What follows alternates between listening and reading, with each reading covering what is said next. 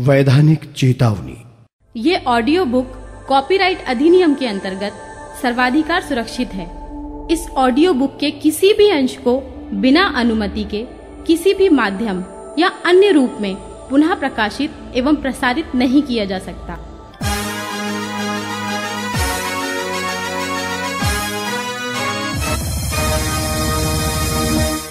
कुछ जिद्दी चराग ऐसे होते हैं। जिन्हें आंधियों में जलने का शौक होता है, जिन्हें वक्त के साथ चलना भी आता है, और वक्त को बदलना भी। ऐसे ही कद्दावर महान, मृदुभाषी, सरल, व्यवहारिक लीडर हैं श्री नरसी ग्रेवाल, जिन्होंने थल सेना के एक मामूली कर्मचारी से लेकर great network marketing company secure life के महानतम और लोकप्रिय लीडर, वक्ता और लेखक के तौर पर अमिट पहचान बनाई है। उनकी वाणी, उनके शब्द, उनके विचार, उनका ज्ञान, उनका प्रदर्शन अपने आप में एक धरोहर है। जो चाहते हैं कि उन्हें network marketing company secure life में महानतम मकाम हासिल हो, धन दौलत, मान सम्मान, ऐश्वर्य, समय और धन की आज़ादी उनके साथ साथ एक हसीन लाइफ स्टाइल तो उन्हें फ़िक्र करने की ज़रूरत नहीं है। तो आइए सुनते हैं। Mercury leader mister Narsi Grewal को।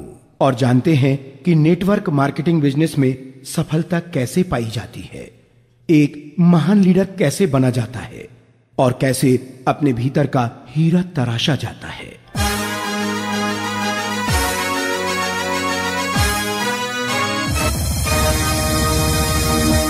दोस्तों, सभी को मेरा नमस्कार। दोस्तों, मैं एक बात पूछना चाह रहा हूँ। हम लोग सारे एक्साइटेड हैं, इसलिए इस बिज़नेस में हैं। ये बात बिल्कुल सही है। हम लोग सारे लोग मानते हैं कि हम लोग एक्साइटेड हैं। एक्साइटेड हैं? हम लोग एक्साइटेड हैं। और एक्साइटेड क्यों है? इसके पीछे एक बात बताता हूँ आपको कि जो आदमी आदमी में और कद्दू में क्या डिफरेंस होता है? एक ही बेसिक डिफरेंस होता है कि कद्दू कभी एक्साइटेड नहीं होता। और आदमी क्या होता है? एक्साइटेड होता है। आदमी एक्साइटेड होता है और कद्दू कभी एक्साइटेड नहीं होता है। तो हम लोग और दूसरा इसका उल्टा करें तो क्या बोलेंगे? जो एक्साइटेड होता है वही इंसान होता है और जो एक्साइटेड नहीं होता है क्या होता है? कद्दू होता है। सही है? तो हम लोग सारे एक्साइटेड हैं? इंसान है? हम सारे लोग एक्साइटेड हैं, इंसान हैं और इसीलिए आज यहाँ पे आए हुए हैं। लेकिन दोस्तों अभी आप लोगों ने देखा, हम सबने देखा कि यहाँ पे इमरान लीडर आए स्टेज पे। हमने फिर रूबी लीडर्स को देखा, फिर डायमंड्स को देखा double diamond triple diamond Venus और आपने हमारे great crown leader Sanjay Jain ji को देखा। आप लोग क्या मानते हैं हम लोग क्या मानते हैं कि ये सारे लोग, जो भी, जिन भी जिन लोगों के बारे में मैंने चर्चा किया, और बहुत सारे लोग हैं जो अचीवर हैं। मिस्टर ओम प्रकाश जी, मिस्टर चतुर्वेदी साहब mister Dashrath ji, mister Arvind ji, mister Anand Thakar, mister सारे के सारे लोग मतलब सक्सेसफुल हैं, हम लोग इनको मानते हैं कि सक्सेसफुल हैं। ऐसा सारे लोग मानते हैं? मैं भी मानता हूँ दोस्तों कि ये सक्सेसफुल है। लेकिन हमारे अंदर और एक नए आदमी के अंदर, या सक्सेसफुल लोगों के अंदर और नए आदमी के अंदर एक बेसिक डिफरेंस होता है, और वो डिफरेंस क्या होता है, वो हमको पहचानना पड़ेगा। और वही डिफरेंस जानने के लिए उसी डिफरेंस को पहचानने के लिए आज हम इस मैटर के बारे में डिस्कस करेंगे। और बेसिक डिफरेंस ये है कि जो भी सक्सेसफुल लोग हैं, उन लोगों ने ज़्यादा नो सुने हैं। जो भी सक्सेसफुल लोग हैं, उन्होंने क्या ज़्यादा सुने हैं? नो ज़्यादा सुने हैं। और जो आज की डेट में जो शुरुआत कर रहे हैं, अगर वो लोग भी नो सुन लेंगे तो वो लोग भी उन सक्सेसफुल लोगों की कैटेगरी में आके खड़े हो जाएँगे। तो ये बेसिक डिफरेंस है कि सक्सेसफुल लोगों ने ज़्यादा नो सुने हैं और अभी जो शुरुआत कर रहे हैं, अगर वो भी नो सुनेंगे तो वो भी सक्सेस हो जाएँगे। ऐसा ये सिस्टम है, ऐसा ये बिज़नेस है, और कोई डिफरेंस नहीं है। अगर आप बात करें प्रोफ़ाइल की तो ऐसा कोई भी बंदा नहीं यहाँ पे बैठा जो हमारे जैसा प्रोफ़ाइल नहीं हो। हमारा जैसा प्रोफ़ाइल था, ऐसा सारे लोगों का प्रोफ़ाइल है। बात करें नॉलेज की, बात करें एजुकेशन की, बात करें बैकग्राउंड की, किसी भी चीज़ में कोई डिफरेंस नहीं है। एक ही डिफरेंस है कि जो सक्सेसफुल लोग हैं, उन्होंने ज़्यादा नो सुने हैं और अपने फोकस किया है, काम किया उन्होंने। और हम लोगों ने क्या है कि अभी नो सुनना हमारा बाकी है। यस हमारा नो सुनना बाकी है। और एक बड़ा से बड़ा चैलेंज इस बिज़नेस में, अगर हम चैलेंज बोले, सबसे बड़ा चैलेंज क्या है? एक ही चैलेंज है कि लोग ना बोलते हैं। क्या बोलते हैं लोग? ना बोलते हैं। अगर लोग ना बोले तो मज़ा आ जाएगा। आ जाएगा कि नहीं आ जाएगा? मज़ा आ जाएगा? मज़ा आ जाएगा लेकिन लोग ना बो, ना बोलते हैं और हमको ऐसे लगता है यार ये बात फेयर नहीं है ये अच्छी बात नहीं है। लोगों को तो सारे को हाँ बोलना चाहिए। लेकिन दोस्तों कुछ रूल होते हैं। इस दुनिया में कुछ रूल है। जैसे गुरुत्वाकर्षण का रूल है वो क्या बोलता है कि कोई भी चीज़ आप ऊपर से छोड़ोगे तो नीचे गिरेगी। कहाँ गिरेगी? आप दिन में गिराओगे तो भी नीचे गिरेगी रात को गिराओगे तो भी नीचे गिरेगी। अगर आप पैसा को या कोई भी पैसा को गिराओगे तो भी नीचे गिरेगा। को गिराओगे तो भी नीचे गिरेगा। और यहाँ पे आगरा में गिराओगे तो भी नीचे गिरेगा, दिल्ली में गिराओगे तो भी नीचे गिरेगा, इंग्लैंड में या बॉम्बे में गिराओगे तो भी नीचे गिरेगा। ऐसा होता है? तो ये कुछ रूल है।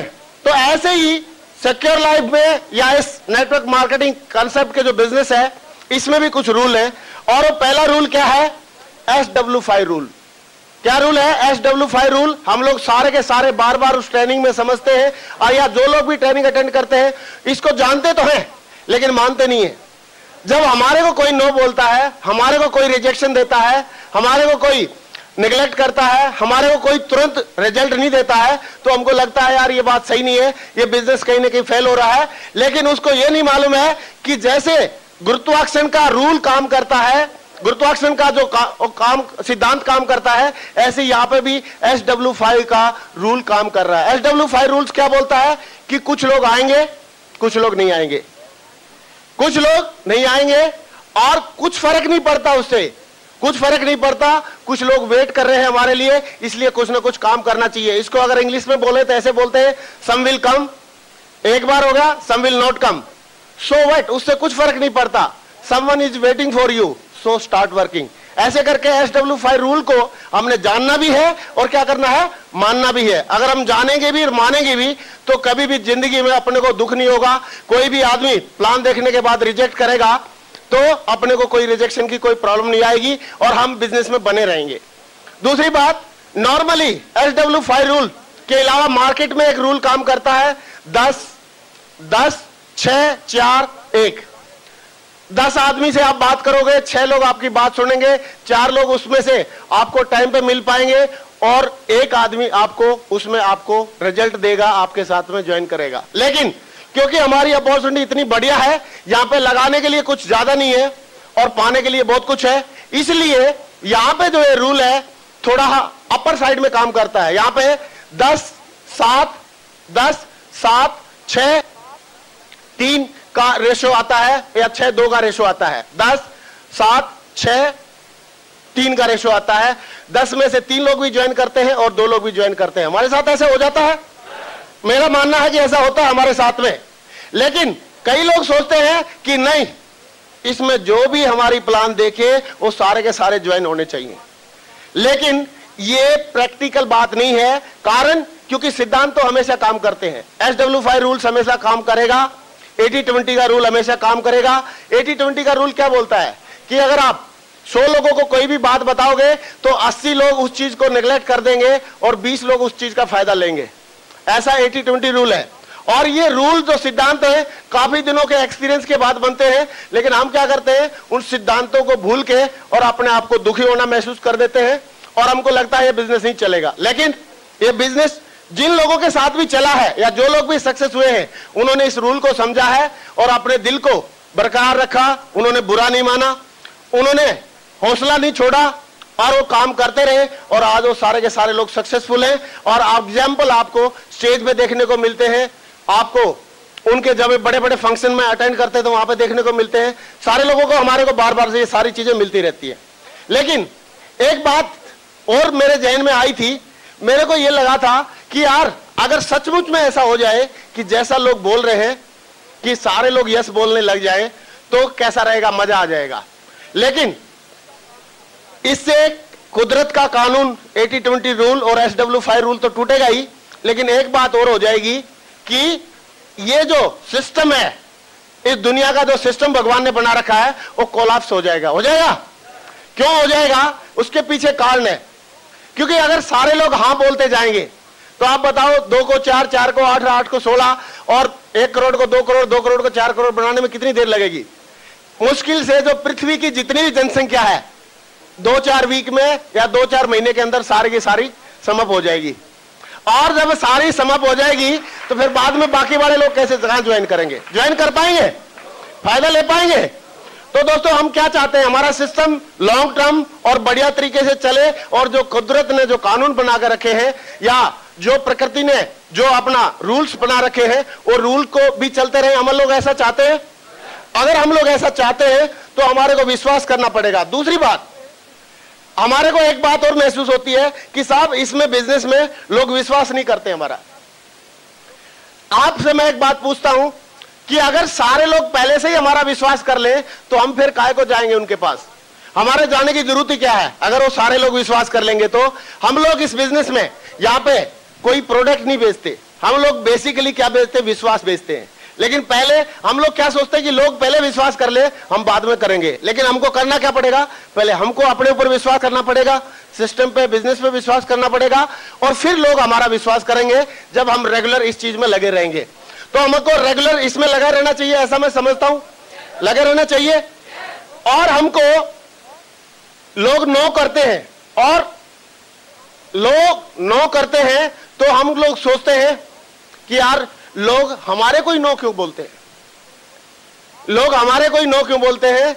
और हम ही ऐसे आदमी हैं जिनको लोगों ने नो बोला है। जितने भी लोग पहले सक्सेस हुए हुए हैं, जैसे हम जितने भी सक्सेसफुल लोगों की लिस्ट उठाए लगता है चतुर्वेदी साहब को किसी ने नो नहीं बोला, जैन साहब को किसी ने नो नहीं बोला, ओम प्रकाश जी को नो नहीं बोला। हमको क्या लगता है, इनको नो बोला होगा या नहीं बोला होगा? और ये तो ये और हम लोग तो एक इंसान है, सारे के सारे, हम और आप तो इंसान है। लोगों ने तो रिजेक्शन करने में और लोगों को बात सुनाने में भगवान तक को भी नहीं छोड़ा। आप बताओ, भगवान श्री राम को लोगों ने बख्शा था क्या? लोगों को लोगों ने नहीं बख्शा भगवान श्री राम को, लोगों ने नहीं बख्शा कृष्ण जी को, लोगों ने नहीं बख्शा गुरु नानक जी को, लोगों ने नहीं बख्शा ईसा मसीह जी को। सारे लोगों को ताने मारे, उनको रिजेक्ट किया, उनकी बात को ठुकराया। लेकिन उनकी बातें तो बहुत बड़ी थी। उनके पास इतनी बड़ी बातें थी कि आदमी की सारी ज़िंदगी सुधर जाए।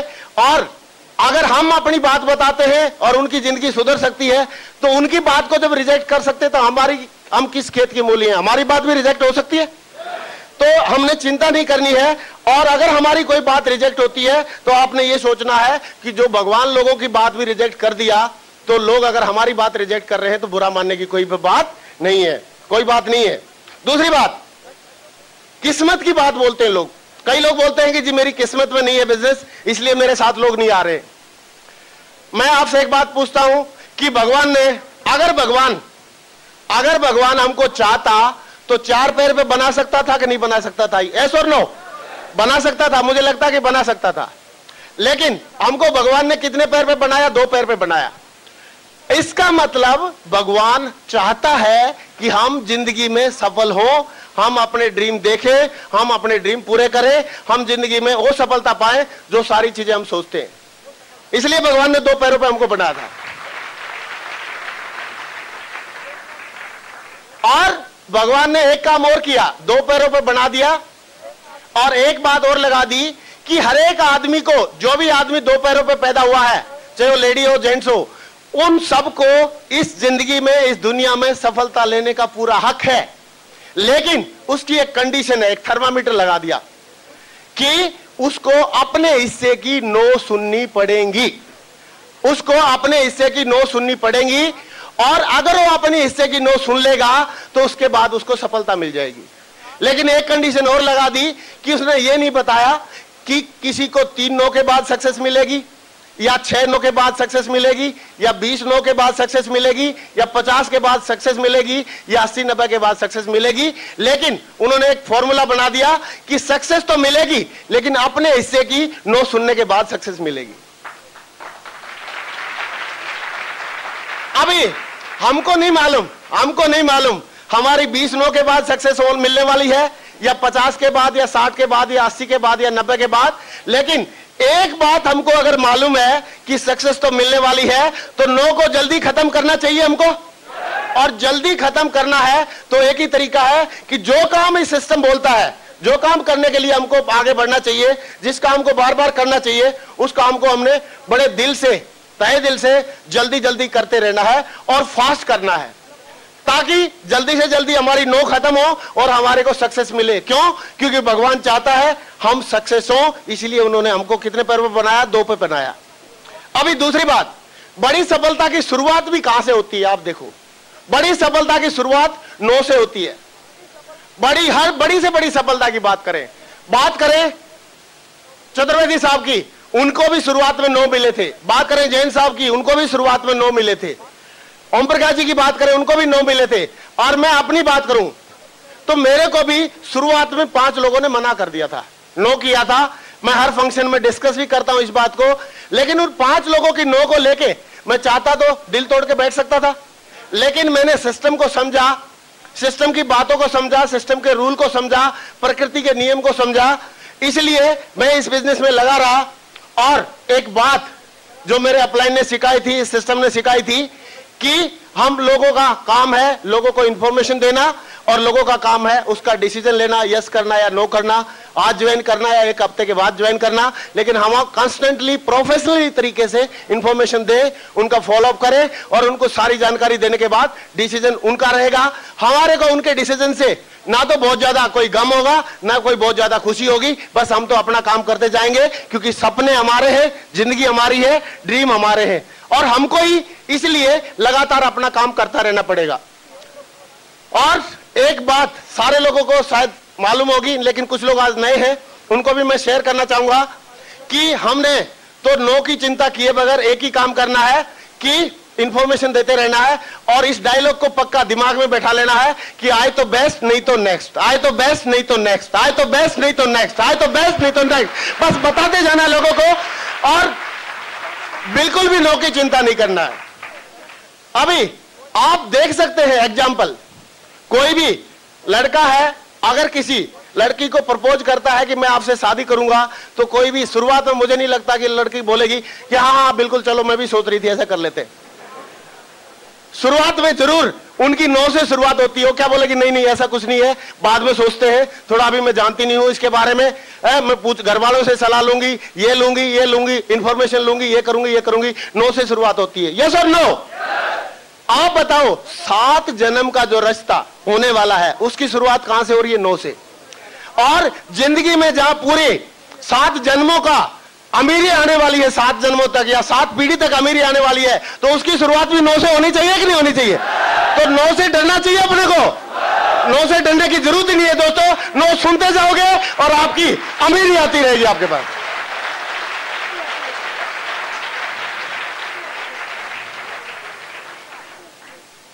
और दूसरी बात, आप देख सकते हैं, जब भी कोई बड़ा काम या बढ़िया काम हम करते हैं तो हमारे को रास्ते में कुछ बाधाएँ आती है। बाधाएँ क्या आएगी? बाधाएँ क्या आएँगी कि कोई भी काम करेंगे हम लोग, कोई भी काम करेंगे तो जैसे हमने अगर रोड पे जाना है तो रोड में गड्ढे ब्रेकर आते हैं? यस और नो अगर कहीं पे गड्ढे ब्रेकर नहीं है, उस रोड पर रेड लाइट आती है। क्या आती है? कई लोग सोचते होंगे, यार, रोड पे तो आती है, लेकिन ट्रेन में कुछ नहीं आता, गड्ढे ब्रेकर नहीं आते। लेकिन ट्रेन में भी क्या आते रेड सिग्नल आते आते और अभी कुछ लोग सोच रहे होंगे कि ट्रेन में रेड सिग्नल आते लेकिन हवाई जहाज़ में तो कुछ आता नहीं होगा। हवाई जहाज़ में भी आता है बैड वेदर। क्या आता है? बैड वेदर होता है। और बैड वेदर होता है तो हवाई जहाज़ लेट भी होता है सारी चीज़ें होती हैं जो नहीं होनी चाहिए। ठीक है? तो जब एक बात बताओ कैसा भी हम कोई सा भी रास्ता अपनाए चाहे ट्रेन का चाहे रोड का चाहे हवाई यात्रा का चाहे समुद्र यात्रा का कुछ भी अपनाए हमारे को हर्डल तो फेस करनी पड़ती है। यस और नो अगर हर्डल फेल कर, फेस करनी पड़ती है तो अपने को ज़िंदगी में सफल होने के लिए ये पता लगाना पड़ेगा या ये मानना पड़ेगा कि हमारे को कुछ न कुछ ऐसा करना पड़ेगा कि अगर बीच में कोई भी बाधा आती है अडल आती है चैलेंज आता है तो हमारे को बुरा नहीं मानना है और उस फे, उसको फेस करना है एक ब्रेव आदमी की तरह एक बहादुर आदमी की तरह। दूसरी बात कई लोग तो यहाँ तक सोचते हैं कि मैं बिज़नेस की शुरुआत तो कर तो दूँगा। बिज़नेस की शुरुआत तो कर तो दूँगा लेकिन पता नहीं लोग क्या सोचेंगे। पता नहीं लोग क्या सोचेंगे, ऐसे करके सोचते हैं। लेकिन मैं आपसे एक बात पूछता हूँ कि लोगों को, हमारे बारे में, लोगों को अपने बारे में ज़्यादा चिंता होती है या लोगों को हमारे बारे में ज़्यादा चिंता होती है?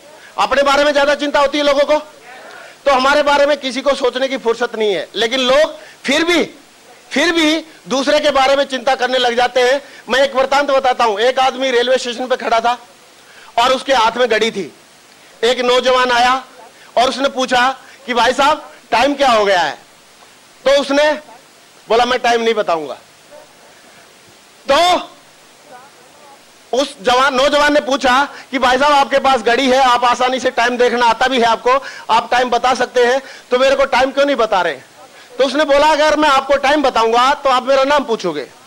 आप मेरा नाम पूछोगे तो मैं आपका नाम पूछूँगा, और आप फिर हमारी आपकी दोनों की दोस्ती हो जाएगी। आप मेरे घर आएँगे, मेरे घर आएँगे तो मेरे घर पे सुंदर कन्या है, आप उसको देखेंगे, फिर आप उससे बातचीत करेंगे और बातचीत करने के बाद उससे शादी का प्रस्ताव पेश करेंगे।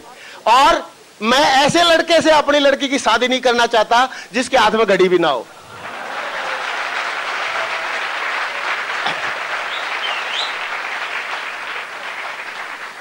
तो क्या टाइम बताने में इतनी बातें हो सकती है? हम लोग ऐसा सोचना चाहिए, नहीं सोचना चाहिए, मुझे ऐसे लगता है, नहीं सोचना चाहिए।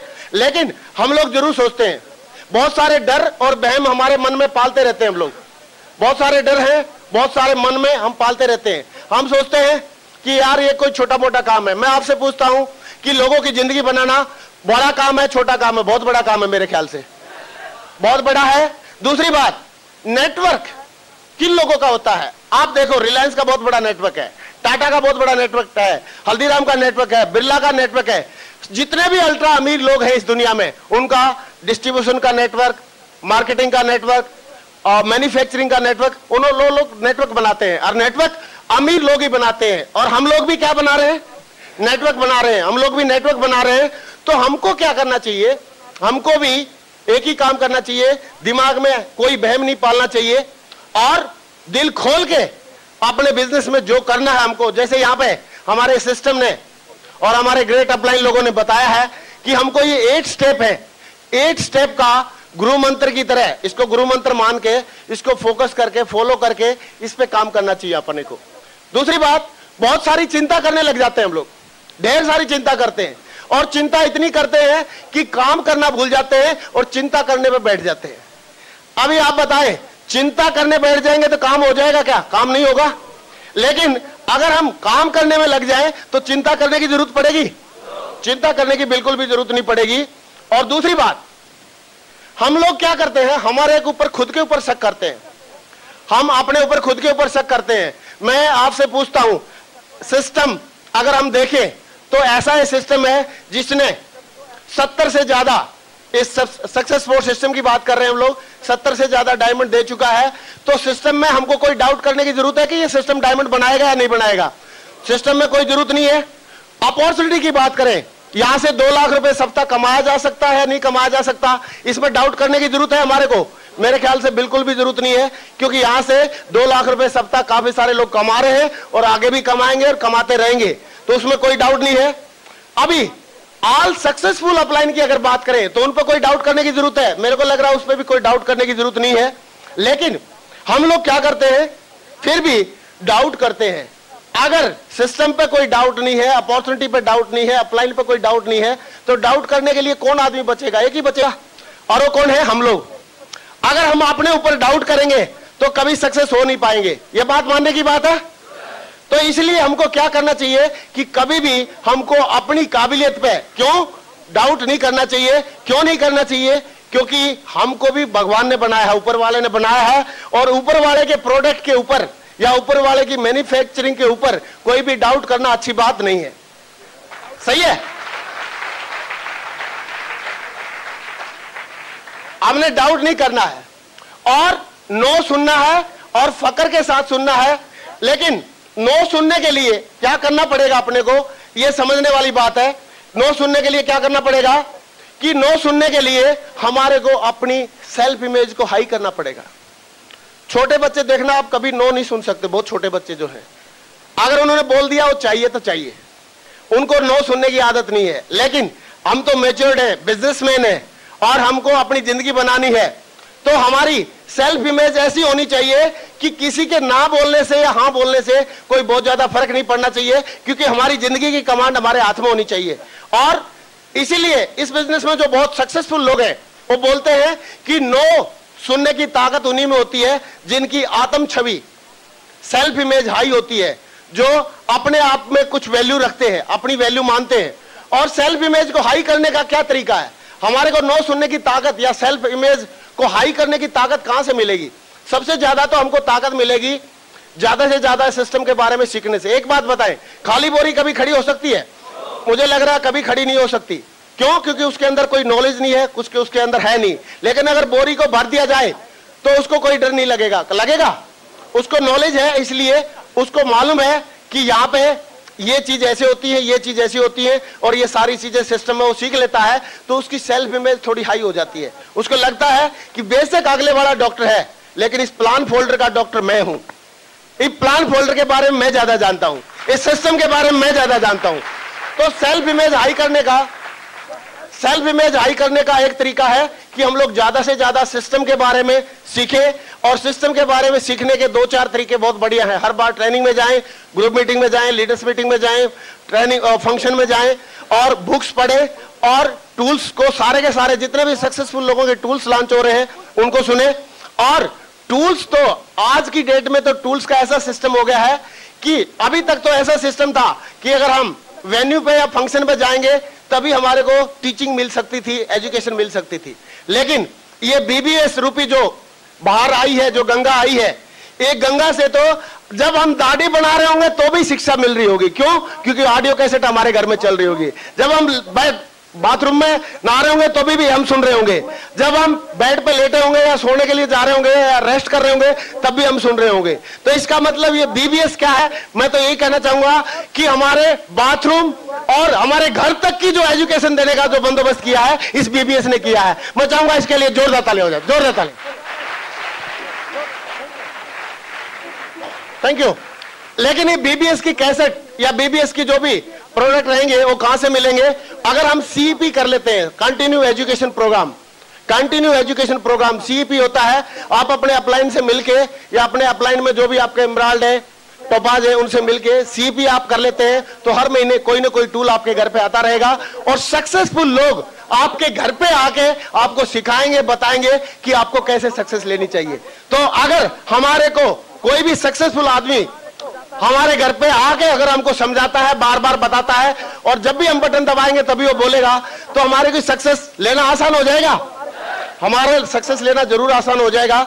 दूसरी बात, हमारे को सेल्फ इमेज हाई करने का एक बढ़िया तरीका और है कि हम अच्छे कपड़े पहने। अच्छे कपड़े का मतलब हम फॉर्मल ड्रेस में रहे, पैंट पहने लाइट कलर की शर्ट पहने डार्क कलर की, और शूज़ पहने तो पॉलिश वाले पहने। एक बात है, एक बात आए। एक आदमी का पजामा फटा हुआ है, आधा पैंट फटी हुई है, शर्ट फटी हुई है और किसी के सामने खड़ा है। वो अपने बारे में उसकी क्या राय हो सकती है? बहुत घटिया राय रहेगी। लेकिन एक आदमी बढ़िया तरीके से सूटेड बूटेड है, या जूते, पैंट और बढ़िया लाइट कलर की शर्ट और डार्क कलर की पैंट पहन रखी है, अच्छी तरीके से बाल सवार के रखे हैं और अच्छे पॉलिश जूते पहन रखे हैं तो उसकी अपने प्रति जो राय होगी, मेरे ख्याल से अच्छी होनी चाहिए। तो अच्छी राय बनाने के लिए, अपनी सेल्फ इमेज को बढ़ाने के लिए, हमको अपने वियरिंग पे, अपने टर्नआउट पे, अपना जो जो पहनावा है उस पर ध्यान देना चाहिए। दूसरी बात सेल्फ इमेज को हाई करने का एक तरीका और है कि हैव ए गुड एसोसिएशन अच्छे लोगों का साथ रहें। अमीर लोगों के साथ रहे, अच्छे लोगों के साथ रहे पॉजिटिव सोचने वाले लोगों के साथ रहे और सक्सेसफुल लोगों के साथ में रहे। और सक्सेसफुल लोगों का साथ कैसे मिलता है हमारे को? जब हम प्लान में जाएँगे ट्रेनिंग में जाएँगे मीटिंग में जाएँगे फ़ंक्शन में जाएँगे और उनकी सीईपी के माध्यम से उनको घर पे उनकी डीवीडी और सीडी सुनेंगे। सही है? तभी हो पाएगा और ये सारी चीज़ें हम कर सकते हैं। दूसरी बात, हम एक बात और देख सकते हैं। एक बार मिस्टर फोर्ड है। मिस्टर फोर्ड का नाम आप लोगों ने सुना होगा जिनको फोर्ड कंपनी बनाई थी विदेशों में फोर्ड कंपनी बनाई थी। उन, उन उनको एक दिन अपने आप में गलानी महसूस हुई थी। क्या गलानी महसूस हुई? कि उसके सामने जो खड़ा था बंदा वो सूटेड बूटेड था और वो बहुत ही कैजुअल ड्रेस में नॉर्मल ड्रेस में था।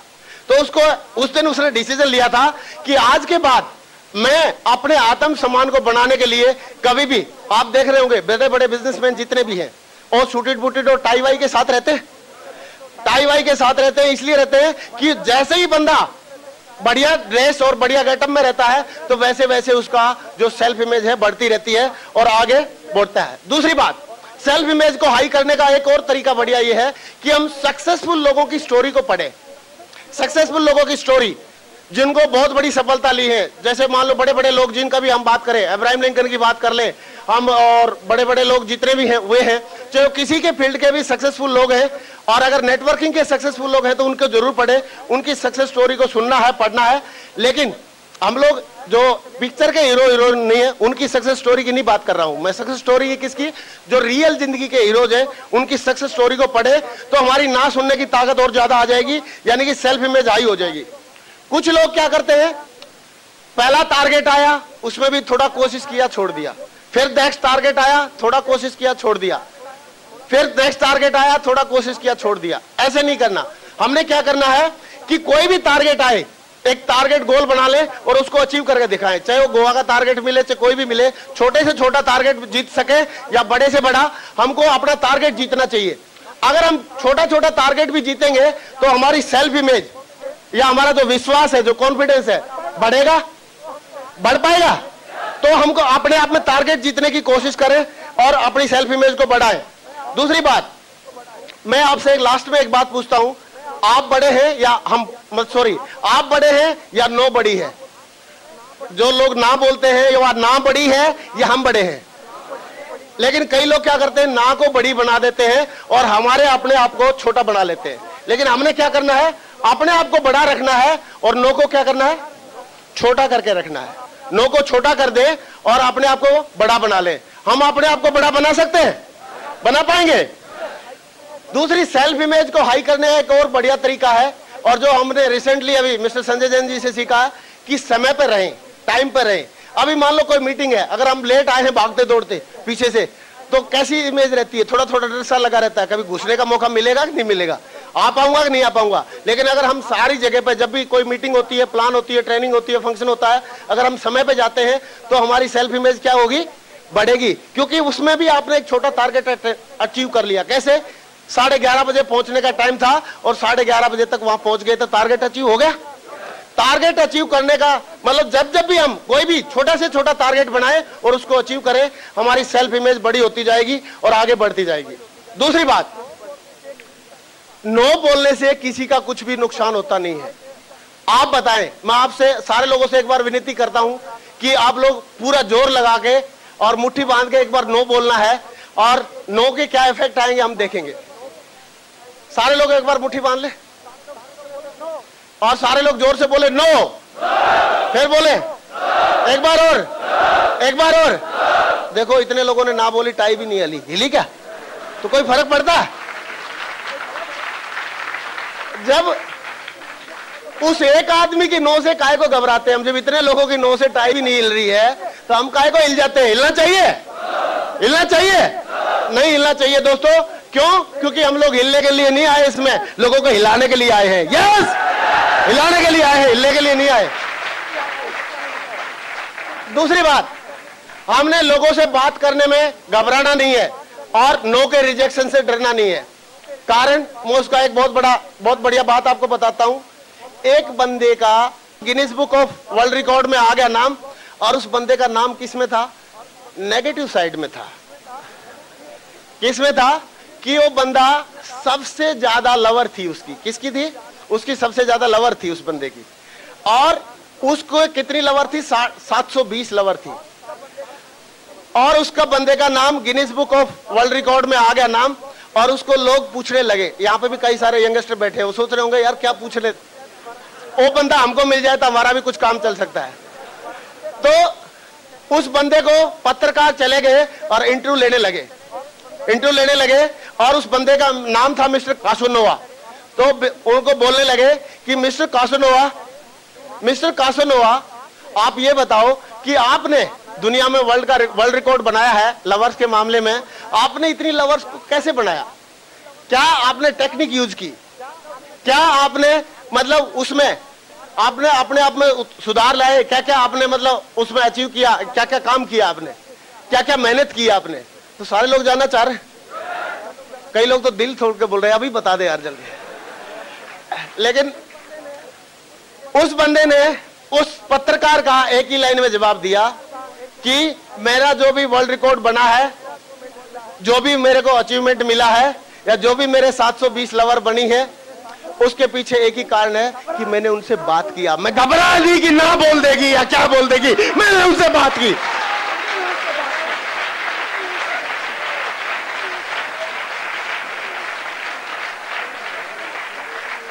लेकिन मैं यहाँ पे बात कर रहा हूँ बिज़नेस के लिए बात करना है।